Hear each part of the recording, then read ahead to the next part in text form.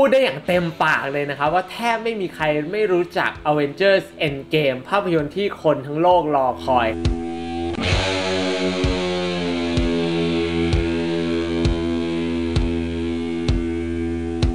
าพยนตร์ของ Marvel Cinematic Universe ทำมาแล้วกว่า 20 กว่าเรื่อง แล้วก็เป็นเวลากว่า 10 ปีที่สร้างสรรค์จักรวาล Infinity Stone มานะครับ และในภาคนี้นะครับ จะเป็นภาคสุดท้ายเผด็จศึก ระหว่างฮีโร่กับธานอสนะครับวายร้ายระดับจักรวาล ขอบอกเลยนะครับว่าสุดยอดจริง ๆ นะครับล้านเต็มสิบนะตัวผมก็ไปดูมาแล้ว แต่บอกเลยครับว่าคลิปนี้ไม่มีสปอยล์นะครับ คลิปนี้จะมีแต่การต่อ Lego Avengers Endgame นะครับเผด็จศึกกันเลยทีเดียวนะครับ โดยเราจะมาต่อฮีโร่คนแรกของจักรวาล MCU นั่นก็คือ Iron Man นั่นเองนะครับ กล่องนี้นะครับมีชื่อว่า Iron Man Hall of Armor เป็นห้องที่รวมชุดเกราะเหล็กของ Iron Man ไว้หลายตัวมากนะครับเห็นได้ชัดเลยนะครับว่ามีชุด Mark One นะครับแล้วก็อีกหลาย ๆ Mark เลย แต่ไม่มีมาร์คซักเคอร์เบิร์กกับ พี่มาร์คอภิสิทธิ์นะครับชิบหายเลโก้กล่องนี้จะเป็นการสปอยล์หรือเปล่าผมขอไม่บอกนะครับเลโก้มันก็ไม่ได้สปอยล์อะไรนักหนาหรอกนะครับ ในหนังจริงเนี่ย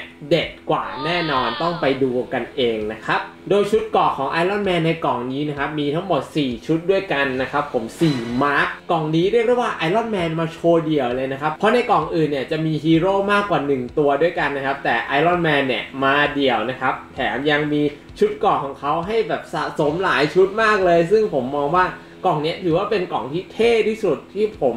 เลือกมาต่อเป็นกล่องแรกเลยนะครับ แนะนำเลยกล่องนี้ถ้าเกิดใครสนใจนะครับ ไปดูได้ที่ร้าน Toy to Thai ครับผม มีเซตของ Avenger Endgame ครับ มาใหม่ ใครสนใจก็ไปดูกันได้นะครับ เดี๋ยววันนี้เราก็จะมาต่อแล้วก็มาโชว์กันนะครับว่าในกล่องนี้มีชุดเกราะมาร์คที่เท่าไหร่กันบ้างนะครับ โอเคไปต่อเลย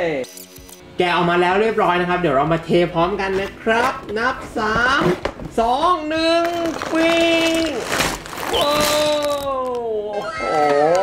มี 4 ซองด้วยกันนะครับ พร้อมคู่มือ 2 คู่มือนะครับ คู่มือที่ 1 คู่มือที่ 2 นะครับ สติกเกอร์เนี่ยก็จะเป็นเหมือนรายละเอียดทางหน้าจอของ Iron Man นะครับ แบบแปลนพิมพ์เขียวของชุดนั่นแหละ และไม่ใช่แค่นี้ครับ คลิปนี้ผมได้อันนี้มาด้วยครับผมเป็น Iron Man ในชุด Quantum Suit Iron Man ชุดนี้เนี่ยไม่มีในกล่องไหนเลยนะครับ จะเป็นแค่ของแถมทางเลโก้เขาแถมมาให้ชุดภาคนี้เนี่ยอารมณ์เหมือนเป็นแบบทีมเรนเจอร์เลยฮะเหมือนกันทั้งเซตนะครับเปลี่ยนแค่หัวนะฮะแซวแซวแซวโอเคครับ เดี๋ยวเราไปต่อกันเลย ดีนิรังจักรวาล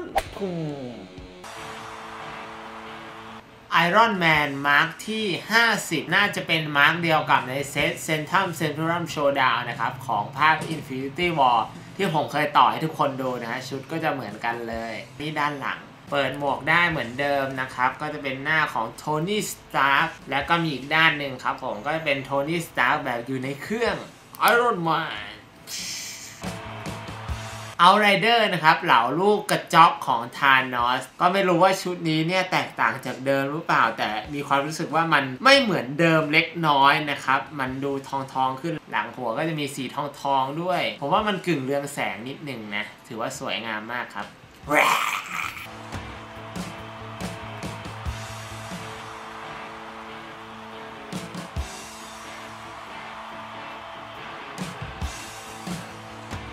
ที่เห็นอยู่ในจอกระจกนะครับ ก็คือ Iron Man Mark ที่ 25 นะครับ ตัวหนังสือนะมีเขียนไว้ว่า XXV ครับผม แปลว่า 25 นั่นเอง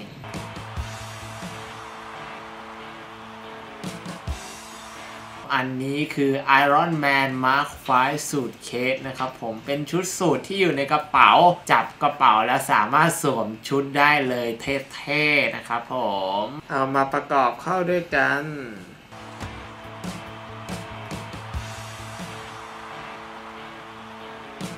อีกชิ้นนะครับผม House Party Protocol ครับผมสถานะ Standby นะครับ อันนี้เป็นหุ่นที่โทนี่สร้างไว้เพื่อปกป้องโลกนะครับ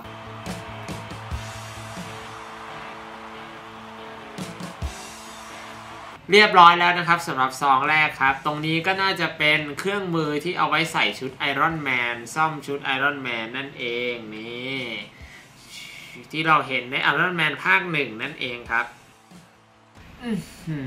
ผมตื่นเต้นมาก ๆ ครับกับ Iron Man Mark 1 ครับ Iron Man ตัวแรกของจักรวาล MCU เลยครับ ชุดนี้เนี่ย มีความคลาสสิก แล้วก็สกรีนออกมาได้สวยมาก นี่เป็นด้านหลังนะครับหุ่นยนต์ตัวนี้ก็ทำอะไรไม่ได้นอกจากเป็นเกาะเหล็กกันกระสุนแล้วก็พ่นไฟได้ และดูที่หมวกของ Iron Man Mark นี้ครับผมเขาสกรีนมาแบบเป็นลายถลอกนะเหมือนในหนังเลย ฉันคือ Iron Man และฉันจะหนีออกไปจากถ้ำบ้าๆนี่ ตัวต่อไปครับผมเป็น Iron Man Mark 5นะครับ Mark ที่ 5ผล่มาในหนังเรื่อง Iron Man ภาค 2 ฉากแรก ๆ เลย ดูครับเขาสกรีนมาเงาสวยมากดูดิ สะท้อนแสงด้วยครับ ด้านหลังก็จะเป็นแบบนี้ครับนะเปิดมาก็จะเป็นใสๆเพราะว่าไม่มีใครใส่ชุดนี้อยู่นะ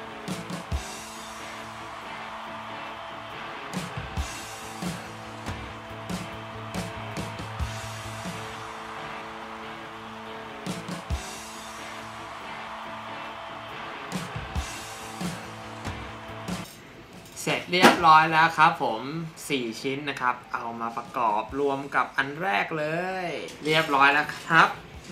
อย่างเท่ศูนย์รวมชุดเกาะของ Iron Man Iron Man Mark ที่ 41 นะครับ ทองอลามมาเลยทีเดียว Iron Man ชุดนี้เนี่ย น่าจะโผล่มาในภาคที่ 3 ครับ มาดูด้านหลังครับ อ่าก็ทองเหมือนกัน อันนี้ก็สามารถเปิดหน้ากากได้เหมือนเดิม ก็จะเป็นไม่มีใครใส่อยู่นะครับ เป็นใสๆเราก็สามารถถอดเปลี่ยนได้นะครับ ในเซตนี้ก็อยากให้โทนี่ใส่ชุดไหนก็จัดไปเลยครับ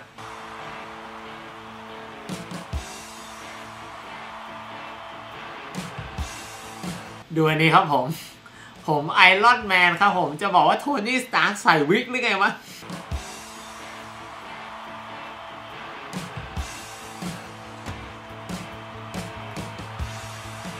โต๊ะคอมพิวเตอร์นะครับ Easter egg เยอะเลย มีคำว่าจาวิสด้วย เอามาประกอบเข้าตรงนี้เลยปังจากนั้นครับ เราก็จะเอาหุ่นมาเรียงMark One ก่อนครับ ยืนตรงนี้ Mark ที่5ครับ Mark 5ยืนข้างๆ Mark One และสุดท้ายครับ Mark 41 41โอเค เรียบร้อย ยืนกันครบแล้วปุ๊บปุ๊บปุ๊บ Outrider อีกหนึ่งตัวนะครับลูกสมุนของธานอส ต่อไปนะครับเราก็จะมาต่อสูตรอีกหนึ่งสูตรของไอรอนแมนนะครับ มาดูซิว่าจะเป็นสูตรอะไร สูตรรูเตียว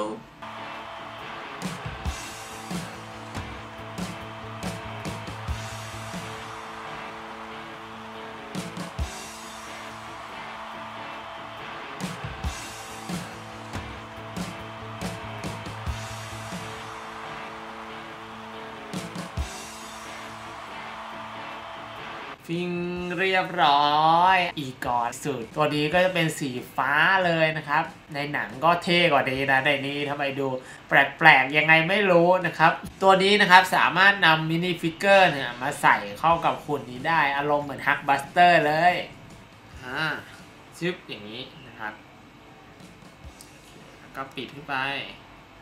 ฟิงเรียบร้อยไอรอนแมนอยู่ใน suit Igor แล้วครับ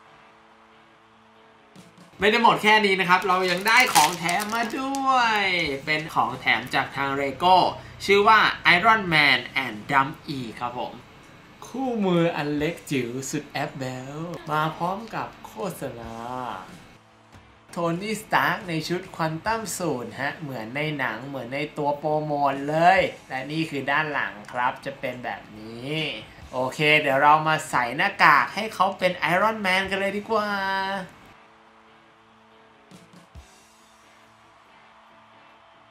เสร็จเรียบร้อยครับสำหรับ Iron Man ในชุด Quantum Suit สองเซตนี้ก็เอามารวมกันได้นะครับ โทนี่ สตาร์กจะมาทำงานครับอืมอืมเดี๋ยวมีที่แบบอาบน้ำอาบน้อส้วอืมสัวหมู ทำอาหารมีอะไร อืด ถึงเวลาประเดศึก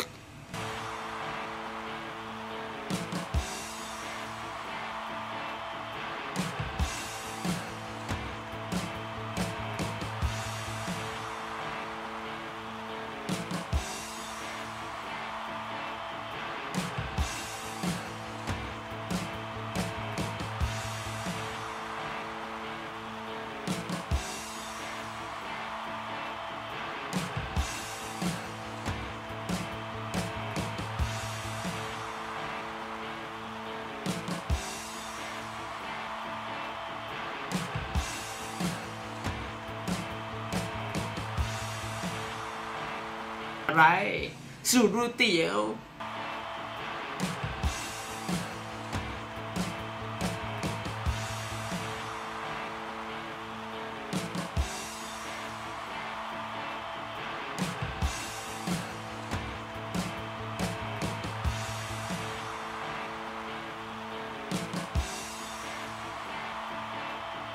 ฟิงเรียบร้อย อีกอดสุด ตัวนี้ก็จะเป็นสีฟ้าเลยนะครับ ในหนังก็เท่กว่านี้นะในนี้ทำไมดูแปลกๆยังไงไม่รู้นะครับ ตัวนี้นะครับสามารถนำ minifigure เนี่ยมาใส่เข้ากับหุ่นนี้ได้ อารมณ์เหมือน Hulkbuster เลยอ่าชึบอย่างนี้นะครับ ก็ปิดขึ้นไปฟิงเรียบร้อยไอรอนแมนอยู่ใน suit Igor แล้วครับ ไม่ได้หมดแค่นี้นะครับ เรายังได้ของแถมมาด้วย เป็นของแถมจากทางเลโก้ชื่อว่า Iron Man and Dum-E ครับผม คู่มืออันเล็กจิ๋วสุดแอปเบลมาพร้อมกับโฆษณาโทนี่สตาร์กในชุด Quantum Suit ฮะ เหมือนในหนังเหมือนในตัวโปรโมทเลย และนี่คือด้านหลังครับจะเป็นแบบนี้ โอเค เดี๋ยวเรามาใส่หน้ากากให้เขาเป็นไอรอนแมนกันเลยดีกว่า